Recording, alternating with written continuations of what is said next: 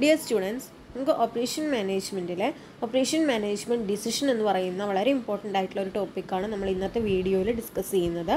അതിന് മുന്നേ നമുക്ക് ഫസ്റ്റ് ഓപ്പറേഷൻ മാനേജ്മെന്റ് എന്താണെന്ന് നോക്കാം.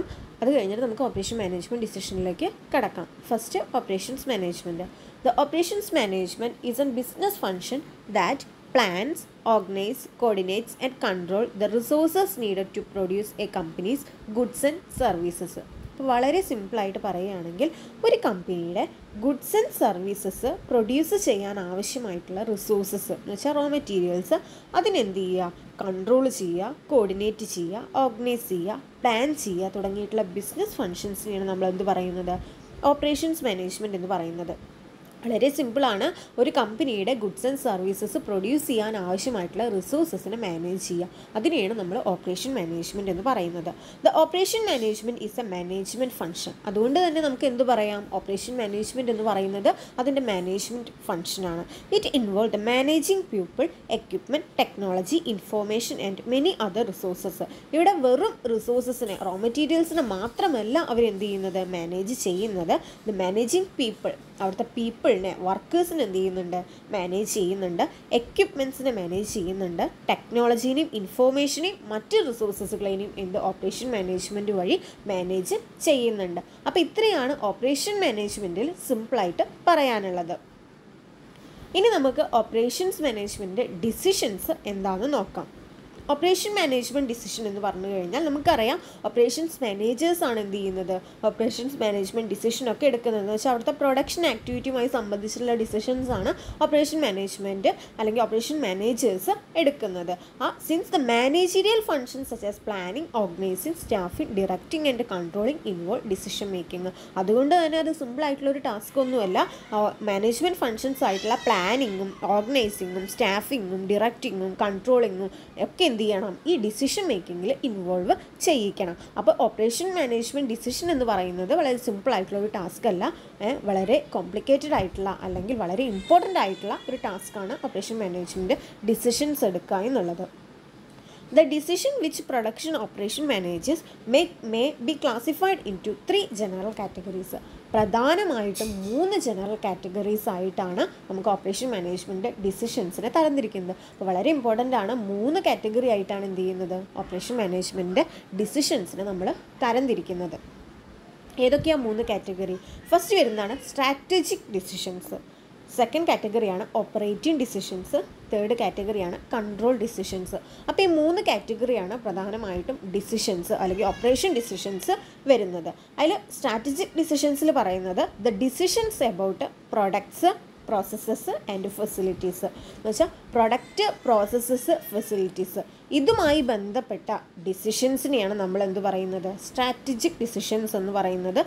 സ്ട്രാറ്റജിക്കലി ഒരു കമ്പനിക്ക് വളരെ ഇമ്പോർട്ടന്റ് ആയിട്ടുള്ള ഒരു ഡിസിഷനാണ് സ്ട്രാറ്റജിക് ഡിസിഷൻ എന്ന് പറയുന്നത് have a long term significance for the organization ഇത് ആ ഓർഗനൈസേഷന്റെ ലോങ് ടേമിനേക്ക് വേണ്ടിയിട്ടുള്ള ഡിസിഷനാണ് സ്ട്രാറ്റജിക് ഡിസിഷൻസ് എന്ന് പറയുന്നത്.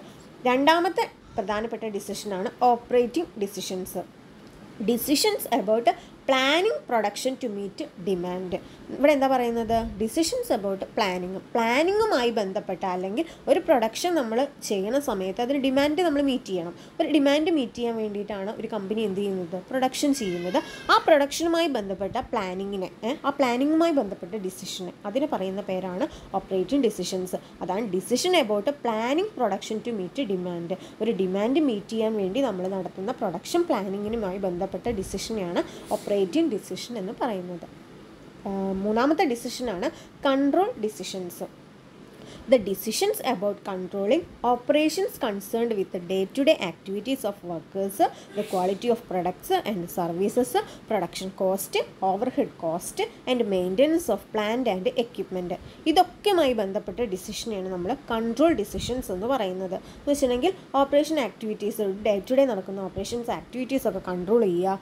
അതും വർക്കേഴ്സിന്റെ ആക്ടിവിറ്റീസ് കൺട്രോൾ ചെയ്യുക. പ്രൊഡക്റ്റിന്റെ ക്വാളിറ്റി കൺട്രോൾ ചെയ്യുക. സർവീസസിന്റെ ക്വാളിറ്റി കൺട്രോൾ ചെയ്യുക. പ്രൊഡക്ഷന്റെ കോസ്റ്റ് അതുപോലെ തന്നെ അതിന്റെ ഓവർഹെഡ് കോസ്റ്റ് പ്ലാന്റിന്റെയും എക്യുപ്മെന്റിന്റെ ഒക്കെ മെയിന്റനൻസ് ഇതൊക്കെയുമായി ബന്ധപ്പെട്ട ഡിസിഷനാണ് കൺട്രോൾ ഡിസിഷൻസ് അപ്പോൾ ഇതാണ് നമ്മളുടെ ഓപ്പറേഷൻസ് മാനേജ്മെന്റിന്റെ പ്രധാനപ്പെട്ട മൂന്ന് ഡിഷി ഡിസിഷൻസ് എന്ന് പറയുന്നത്. അപ്പോൾ നമുക്ക് ഓരോ മൂന്ന് ഡിസിഷൻസ് നമുക്കൊന്ന് ക്ലാസിഫൈ ചെയ്ത് പഠിക്കാം. അപ്പോൾ നിങ്ങൾക്ക് ഒന്നും കൂടെ എളുപ്പമായിരിക്കും. പ്രൊഡക്ഷൻ മാനേജ്മെന്റ് അല്ലെങ്കിൽ operation management decisions and their applications ഓ ഓരോ ഓപ്പറേഷൻ മാനേജ്മെന്റ് ഡിസിഷനും അതിന്റെ അപ്ലിക്കേഷൻസും ആണ് നമ്മളിനി ഡിസ്കസ് ചെയ്യുന്നത്. ഇതിൽ ടേബിളായിട്ട് കൊടുത്തിട്ടുണ്ട്. അതുകൊണ്ട് തന്നെ നിങ്ങൾക്ക് പഠിക്കാൻ ഒന്നും കൂടെ എളുപ്പമായിരിക്കും. എസ് ചോദിക്കുന്ന കേസിൽ ഈ ടേബിളെല്ലാം ഡിസ്ക്രിപ്ഷൻ രൂപത്തിൽ ചെയ്യണം. അതിൽ ടൈപ്സ് ഓഫ് ഡിസിഷനിൽ ഫസ്റ്റ് വരുന്നതാണ് strategic decisions strategic ഡിസിഷൻസിൽ planning product process and facilities നമ്മൾ ഫസ്റ്റ് പറഞ്ഞിട്ടുണ്ടായിരുന്നു പ്രൊഡക്റ്റിന്റെ പ്ലാനിങ് അതിന്റെ പ്രോസസ്സ് ഫെസിലിറ്റീസുമായി ബന്ധപ്പെട്ട ഡിസിഷനാണ് സ്ട്രാറ്റജിക് ഡിസിഷൻ എന്ന് പറയുന്നത്. ഇനി അത് ഏതൊക്കെ ഏരിയയാണ് സ്ട്രാറ്റജിക് ഡിസിഷൻ ഇൻവോൾവ് ചെയ്യുന്നതെങ്കിൽ ഫസ്റ്റ് വരുന്നതാണ് manufacturing process and technology first manufacturing process ടെക്നോളജിയിൽ എന്ത് ചെയ്യുന്നുണ്ട്? സ്ട്രാറ്റജിക് ഡിസിഷൻ ഇൻവോൾവ് ചെയ്യുന്നുണ്ട്. പിന്നെ design plant location and plant layout പ്ലാന്റിന്റെ ലൊക്കേഷനും പ്ലാന്റിന്റെ ലേഔട്ടൊക്കെ ഡിസൈൻ ചെയ്യുന്ന കേസിൽ അതുപോലെ തന്നെ long range capacity planning capacity planning നമ്മൾ കുറച്ച് നീണ്ട കാലയളവിന് കപ്പാസിറ്റി പ്ലാനിങ് നടത്തുകയാണ്. എന്ന് വെച്ചാൽ എക്യുപ്മെന്റ് ലേബർ കപ്പാസിറ്റി അത്തരത്തിലുള്ള പ്ലാനിങ്ങുകളൊക്കെ നടത്തുമ്പോൾ നമ്മൾ എന്ത് ഡിസിഷനാണ് എടുക്കുന്നത്? സ്ട്രാറ്റജിക് ഡിസിഷനാണ് എടുക്കുന്നത്. ഇനി ഇതിന്റെ നാച്ചർ ഓഫ് ആക്ടിവിറ്റീസ് എന്തൊക്കെ നാച്ചർ ഓഫ് ആക്ടിവിറ്റീസ് ആണ് സ്ട്രാറ്റജിക് ഡിസിഷനിൽ involve ആവുന്നതെങ്കിൽ first product design process design. എന്ന് വെച്ചാൽ മാനുഫാക്ചറിങ് പ്രോസസ്സ് ആൻഡ് ടെക്നോളജി എന്ന് പറയുന്ന ഏരിയ നമ്മൾ പറഞ്ഞില്ലേ? ആ ഏരിയയിൽ എന്തൊക്കെയാണ് വരുന്നത്? പ്രൊഡക്റ്റ് ഡിസൈന് പ്രോസസ് ഡിസൈൻ ആണ് പ്രധാനമായിട്ടും ഉൾപ്പെടുന്നത്.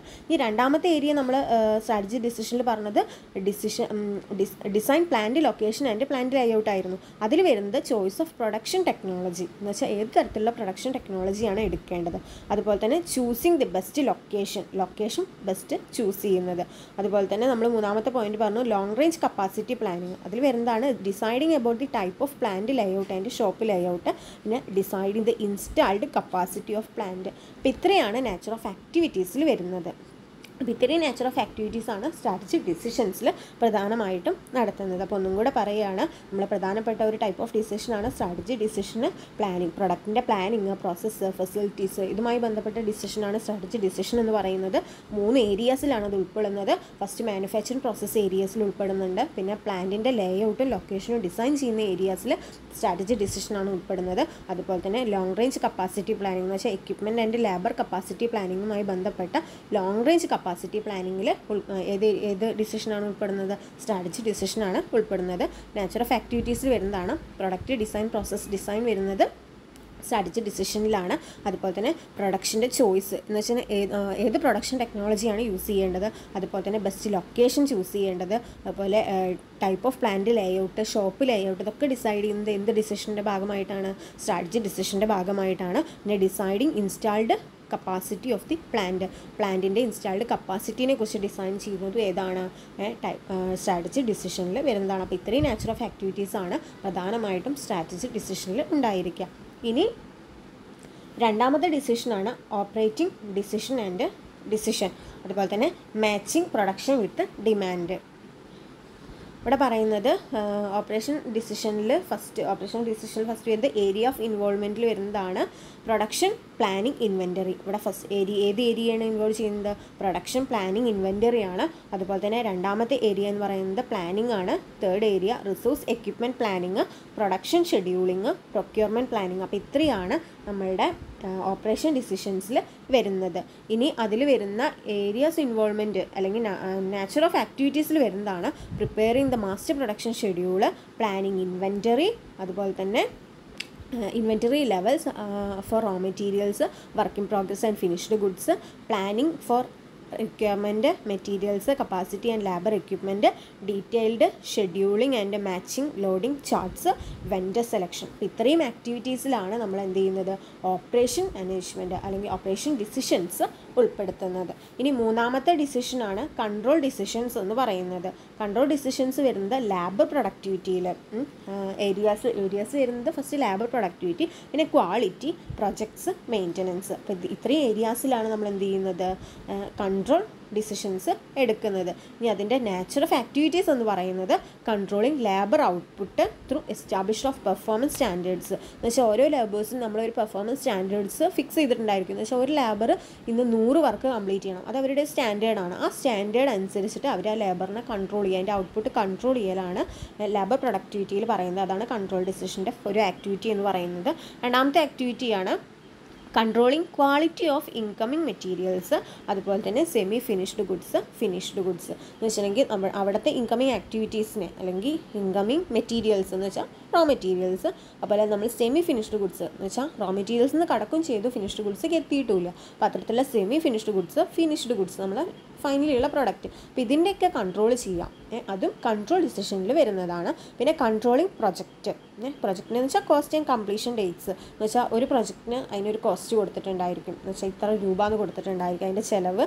അതുപോലെ തന്നെ കംപ്ലീഷൻ ഡേറ്റ് ആ പ്രൊജക്റ്റ് അവർ ഒരു നിശ്ചിത ഡേറ്റിന്റെ ഉള്ളിൽ എന്ത് ചെയ്തിരിക്കണം? കംപ്ലീറ്റ് ചെയ്തിരിക്കണം. അപ്പോൾ ഇതിനൊക്കെ എന്ത് ചെയ്യുക ഈ പ്രൊജക്റ്റിന്റെ ഇത്തരം കാര്യങ്ങളൊക്കെ കൺട്രോൾ ചെയ്യുക അത് സി പി എം മെത്തേഡ് ഉപയോഗിച്ചിട്ടോ പെർട്ട് മെത്തേഡ് ഉപയോഗിച്ചിട്ടോ ആണ് എന്ത് ചെയ്യുന്നത്? കൺട്രോൾ ചെയ്യുന്നത്.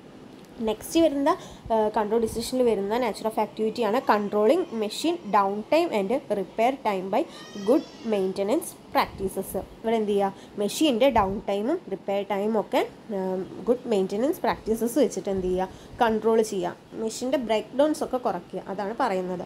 അപ്പോൾ ഇത്രയാണ് പ്രധാനപ്പെട്ട മൂന്ന് ഡിസിഷൻസ് വരുന്നത്. ഫസ്റ്റ് വരുന്നതാണ് സ്ട്രാറ്റജി ഡിസിഷൻസ് പിന്നെ ഓപ്പറേറ്റിംഗ് ഡിസിഷൻസ് പിന്നെ വരുന്നതാണ് കൺട്രോളിങ് ഡിസിഷൻസ്.